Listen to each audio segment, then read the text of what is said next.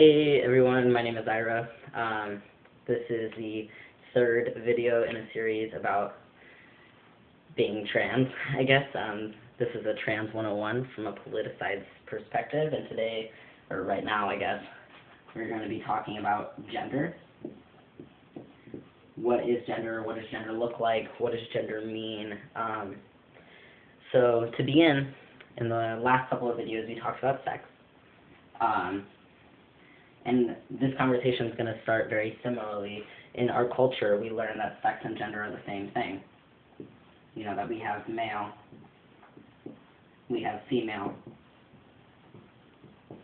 we have man, and we have woman, right? Female means like, you know, having a normative vulva or vagina, or well, vagina is part, not all, right? Um, and so, you know, whatever yours looks like, mine doesn't really look like that. you know, or in that, you know, in that being male means having a penis according to a normative medical definition. Not everybody identifies, you know, a body part that may look like this as a penis, right? And not everybody identifies a body part that may look like this um, as male, right? So we learn that they that these two are the same thing, that you don't have any choice in them and you can't move anywhere. It's just something that happens to you. You don't have any agency over your own body, right? And in a women's studies course, you learn that male and female do not always mean man and woman, right? So that sometimes, I'm just going to abbreviate M for male, F for female, M for man, and W for woman. So you learn that sometimes these switch and that you can be a female man or that you can be a male woman.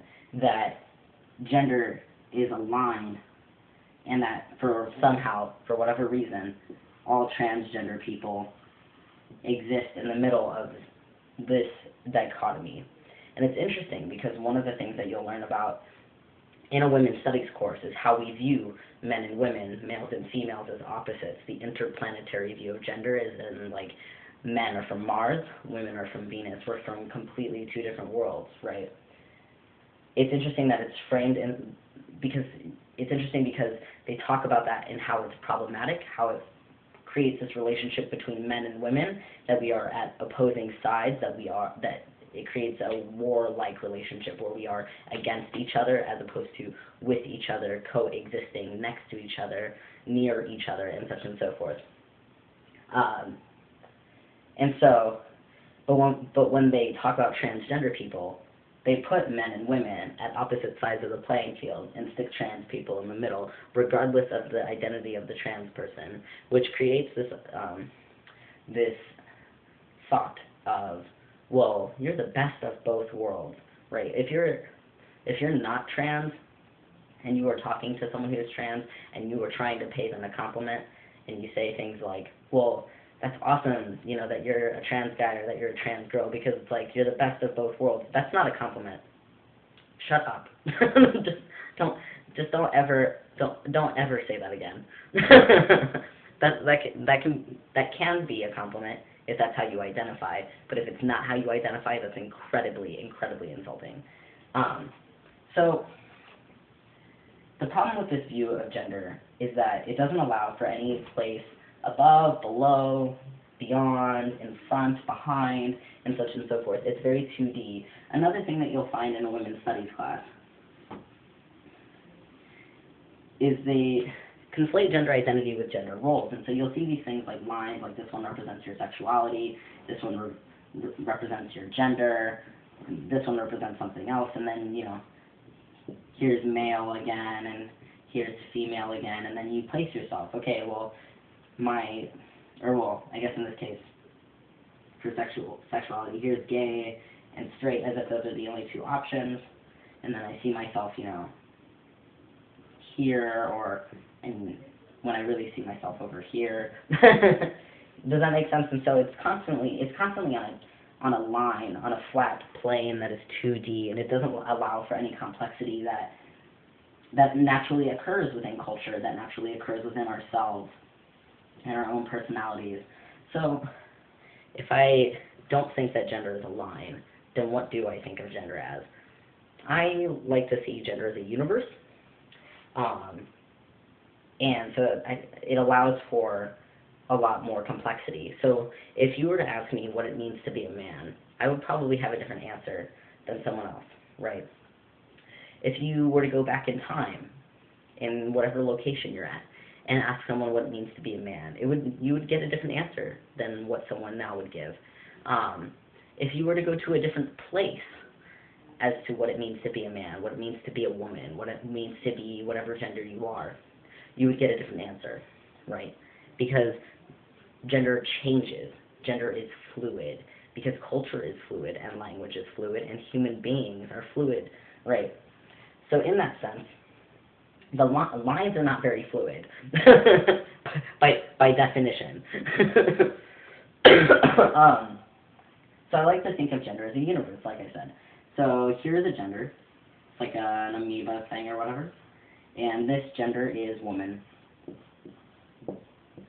Right, and I like to I like that it's an amoeba thing um, because it allows for the complexity of woman as a single identity. You can be a woman over here, you can be a woman over here, right?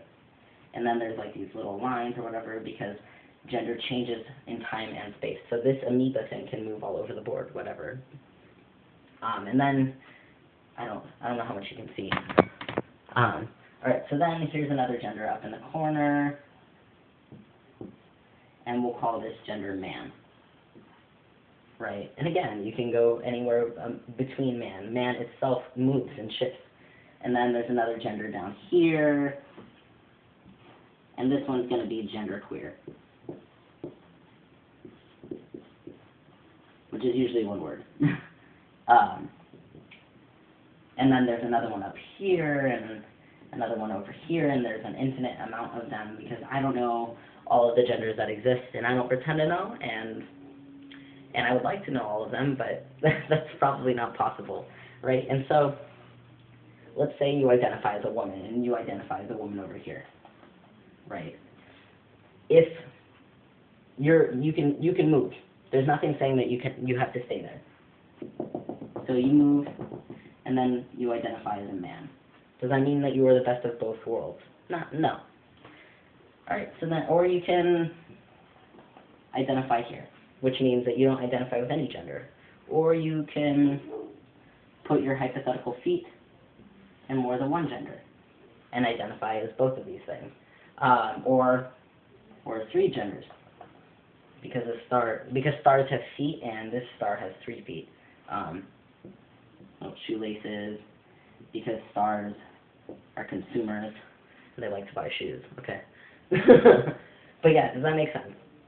There is there's space, there is freedom, there is agency when we view gender as a universe as opposed to a line where there are where there are finite ends, where where there are where there is the ability to be at an opposing side with another gender. When you view gender as a universe, there's no opposite, um, because everything's constantly moving. There is there there are no dichotomies because there are a bunch of choices. There is freedom because nothing is stagnant. Um, on that note, I want to say that just because the concept of gender is not stagnant, it does not mean that our identities cannot be stagnant ones. And even, even if we identify as a single gender our entire lives, that doesn't mean that that that gender in and of itself doesn't change a little bit. You know what I'm saying?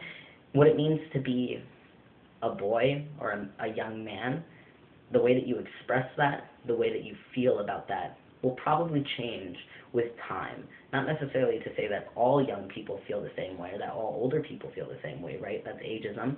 But um, but that time allows for growth in general, um, or allows you know for uh, dig- digress. I don't know if digression is a word, but we can pretend it is for now.